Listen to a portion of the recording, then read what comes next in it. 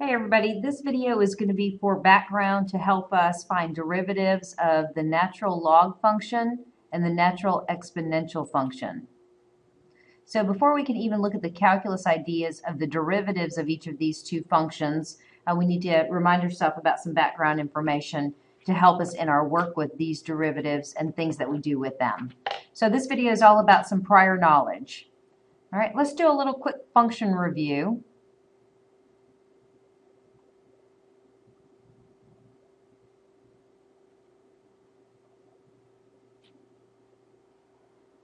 Okay, and what I mean is let's look at the idea of the um, exponential functions, the category of exponential functions and the category of logarithmic functions. And just real quickly here, to the best of my ability. Okay, just to remind you about an exponential function, uh, let me just pick on uh, this perhaps exponential function right here. Okay, and I'm going to call it y equals 2 to the x. It has a base of 2, an exponent of x. So this is an exponential function. Okay, It's not a power function where a power function has a base of x with a num numeric exponent. It has a, a, numeric base and a power exponent. So it's an exponential function. So you've studied these in, in past classes and this is the shape. Um, let's look at another exponential function. Let's look at perhaps y, uh, y equals 3 raised to the x power. Okay, where this function in here is y equals 3 to the x. Okay, let's also look at one more. Let's look at y equals 10 to the x power. So the larger our base becomes, the more vertically stretched our graph is. So right in here, I'm going to call this y equals 10 to the x. So we're looking at reviewing exponential functions. And I just want to kind of note, point out right here, this common point that they all pass through. I want you to think about that for just a second. The ordered pair 0, 1 belongs to all of these parent function, if you will, exponential functions. Uh, that is because if x is 0, okay, no matter which function you're dealing with here, if x is 0, anything to the 0 power is going to be 1. So they all share that point 0, 1. Okay, and depending upon the base will determine what they look like, um, how stretched they are. Um, so that's just an exponential review right there. Okay, let's look at the inverses of each of these. You might recall from prior classes that if you consider the line y equals x and you were to reflect across the line y equals x, um, we have what we uh, call inverse functions. Okay, so one other thing you might remember is that if 0, 1 is on the function, then we switch the x and y, and 1, 0 would be on the inverse. So let me attempt to draw the inverse function graphically for y equals 2 to the x. So it might look something like this. So that when I fold along y equals x, y equals 2 to the x lays on top of this inverse function. You may recall also that the class of functions that are inverses of exponentials are log functions. So it's log base 2 of x. Likewise, I can draw the inverse of the other two the other two exponential functions that I had here. So the name of this, this, these functions would also be log functions, log base 3 of x. And the last one here, it would be the one closest to the positive y-axis. Oh, sorry, the one closest to the positive x-axis because it's the one that's closest to the uh, positive y-axis here. Okay, so this last function right here is the inverse of 10 to the x. So it's going to be y equals log base 10 of x. And you might remember that uh, this is called our common log. And so the understood base is 10. And so in that case, we drop the base of 10. Okay, so just a quick review of exponentials and logarithmic functions here. Okay, um, we're working towards finding derivatives of these two, but eventually we'll also want to, in a later video, uh, we're going to want to find derivatives of um, regular exponentials, if you will, and regular log functions, not the special natural log and natural exponential. Okay, so just a quick review.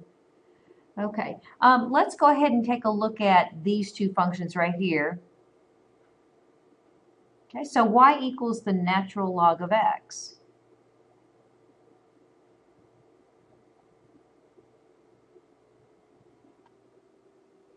Okay, I want to look at these two in a little more detail outside of this whole group of functions right here. So I'm going to start with the exponential y equals e to the x. Uh, you very well may remember that e is approximately 2.71. It behaves similar to pi in that pi is irrational 3.14 is what we use to approximate it. So for e we use 2.71. So if you're going to sketch e to the x, okay, it's going to fall somewhere in between these two graphs right here. If the base is 2.71, it'll likely be closer to y equals 3 to the x than y equals 2 to the x. Uh, but it'll have the same kind of basic shape. So let me see if I can try and produce that graph. We'll just work with it. So we call this y equals e to the x. It's the natural exponential function. Okay, if we drew its inverse, it would cross through 1, 0, perhaps look something like this. Okay, and like we did over here, we can name this and we can say, well, this is y equals log base e of x.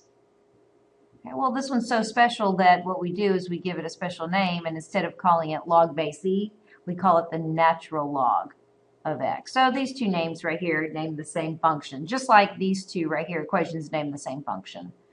Okay, so we have the natural log and we have the natural exponential function, and that's where our work is going to be in these next couple of videos, but just a little bit of background about, about these. Okay.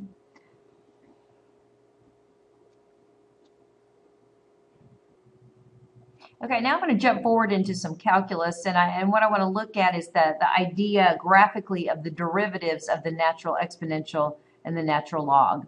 And then we'll go away from the calculus and go back to algebra 2 for a little bit and then come back. All right, so let's consider y equals e to the x. Now we know what the general shape looks like. And right here I'm just going to use this opportunity to review. Review curve sketching sketching f prime, or if you will, y prime in this case, um, with regard to y. So given y, let's now sketch a graph of y prime based on what we just did previously. All right, notice there's no mins or maxes. There's no zero rates of change, so we'll have no um, x-intercepts here. This function is rising across its entire graph, so that means the slope graph will be positive, located in quadrant 1 and 2, noticing some, some uh, slope values slope here is zero, it's increasing. The slope here, the graph is pretty steep, so it's going to be pretty large. So at corresponding x's, I'm going to plot y values, okay, from the slopes. So I want you to just kind of take a look at this sketch of y prime. You may be thinking to yourself, well, it looks like the graph itself that we started with, and it absolutely does. This is one of those unique cases where the exponential function, the natural exponential function, okay, is its own derivative. It's kind of interesting. Okay, and we produce this graphically. Now, when we get to our calculus work with the natural exponential function, we're not going to just be finding derivatives of the natural exponential. Now, that'd be too easy. I wish it was that case. But we're going to be looking at a composite natural exponential function. And you might remember hearing that word composite uh, in the context of us using chain rule. Okay, let's come over here look at the natural log function. Okay, let's see if we can produce a graph of the natural log function based on our uh, previous work with sketching. Okay, so let's look at y prime. We may or may not recognize the function that we're going to graph. All right, so we notice there's no part of the graph over here, so we're not going to have the derivative over here. No mins or maxes on this graph, no x-intercepts. Okay, the graph starts out pretty steep, so that would be a large y value. Okay, and by the time it gets around right here, the steepness isn't so much, and then it just starts to flatten out, and never approaching zero. Okay, so kind of drawing a quick sketch of the slope graph. Okay, it appears to be another exponential function, but you might recognize this as one of the branches of the reciprocal graph, and indeed, we're going to figure out, learn, okay, that the derivative of the natural log function is indeed 1 over x, but only in quadrant 1, where x values are greater than 0. So um, just kind of informally through past work that we've done in calculus, shared with you the derivatives for these parent functions. Uh, but in our work in another video, we're going to be finding derivatives of composite natural exponential functions and composite natural log functions. And we'll look, look and see how to handle that. All right, now returning to some more of a review here, uh, we're jumping outside of calculus, and what we need to review are some previous log properties.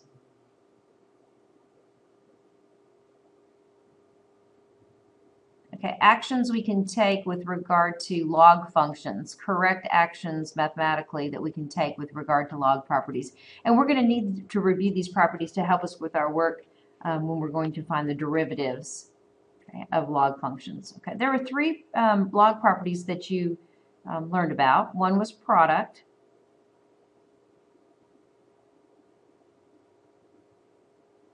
All right, so the product property tells us that um, if we're dealing with a logarithmic function, no matter the base, the base could be e, 7, 12, doesn't matter. So I'm going to put an a here. If I have a product, let's say I have x times y times z, that it might be helpful in some cases for us to use the product property and break this apart. That is, the log of this product is equal to the sum of the logs of the individual factors. So the log of um, x plus the log of y plus the log of z. That's a plus. So that's called our product property. So we have a set of factors here. We have three of them. Um, then we can simply add uh, the individual logs. Okay, you might remember the quotient property.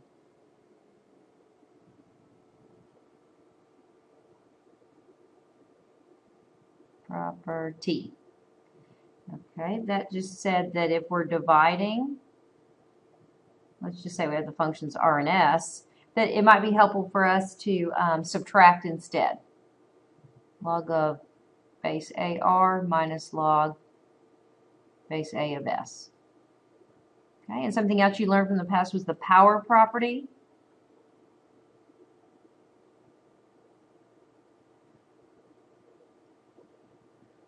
That's a coefficient, that's a multiplier, that's a constant multiplier. It doesn't have to be a constant multiplier, but it is. It's um, 7 log base A x Okay, what you could do is if this is a coefficient, you can actually shift it as an exponent. Okay, so if we're dealing with log functions, these are some of the things that we can do. These are some of the properties. So what I'm going to do here is um, I'm going to write down some of the examples that we might want to just practice with. I'm going to write them down, and then you might want to pause the video and attempt to uh, apply the properties to each of these and then turn the video back on. All right, here are a few examples that we might want to start with in applying our log properties. Okay. All right, number one, um, just kind of study what we call the argument or the angle or what follows the natural log. This all belongs to natural log. I'm seeing a product of two factors, x times this uh, square root here. Uh, it looks like I can use the product property.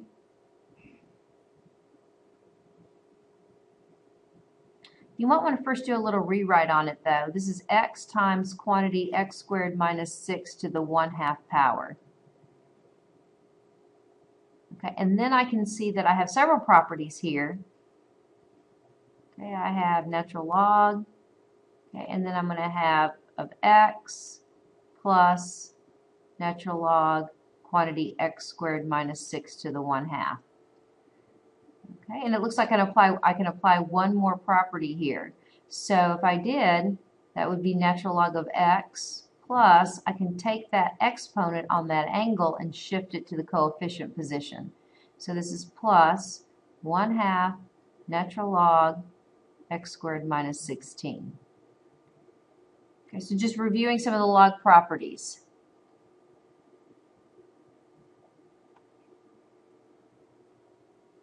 Okay, for this function right here, okay, I'm just kind of studying it. I'm looking at natural log with the natural log uh, inside of it. This is not a product in here to where I could apply the product property. Um, this is actually just one item in here. However, this item in here may be able to um, be simplified using uh, one of the log properties. So what I have here is natural log, and I'm going to go inside here and say, you know what?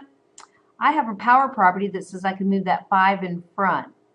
So 5 times the natural log of x. Okay, now can I take this 5 and move it to the front here? Now I hope you're thinking, no, you can't do it, and you're absolutely right, because it has to stay right in here. We can't take out a constant multiplier to the front if it's part of the angle, so to speak, or the argument.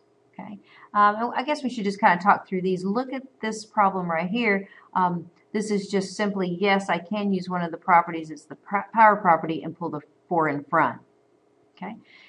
Now look, contrast, compare and contrast three and four. Um, four actually has an exponent that's on um, the entire function here. It's not just on the angle or the argument to where I can apply the power property. I'm not able to apply property number number three because the four is on the entire function. Okay, so um, in this case, what else could I do? Real, really nothing, but I did want to point out that you may see from the authors um, that that 4 works just, that power works just like it does on a trig function. You can pull the 4 off and on the trig function. Attention in the building, attention in the building. You are parked All right. Uh, you may see that uh, several more problems have uh, appeared. Uh, at this point, if you wanted to uh, write them down and then just attempt to see if there's any other properties for logs that you could apply um, just to self-assess, I think that'd be a great idea. Okay.